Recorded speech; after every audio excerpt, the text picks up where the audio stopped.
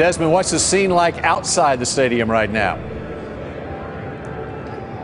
Bill Jones, there's a lot of energy outside AT&T Stadium. We're going to show you a little bit now.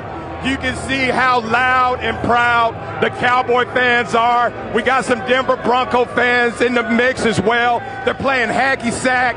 There's a lot of food going on. Ain't no mountain high enough.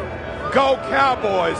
They have a lot of faith and a lot of excitement. This is a team that's won six games in a row, and you can see the fans showing their appreciation. I'm about to show my appreciation for some food, for some good food that's going on here. We got my man Joe working the magic on the grill. Joe, what, what what's this we're cooking, Joe? We're cooking some uh, steak fajitas and some tablitas. Ta- tablita. Tablitas.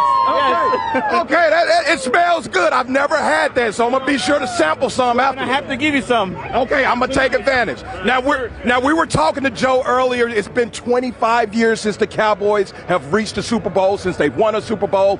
My man Joe believes they can go back and win it this year. Joe, what gives you so much confidence that this year is the year? I think a lot has to do with the defense. The defense is helping out the offense. The offense is putting up points. This is our year. Awesome. We got a great coaching staff. All right. All right, well, we're going to see if the Cowboys can pull it out. Again, Bill Jones, you can feel the energy. You can see the excitement. We're going to send it back to you in the studio. What's up, little man?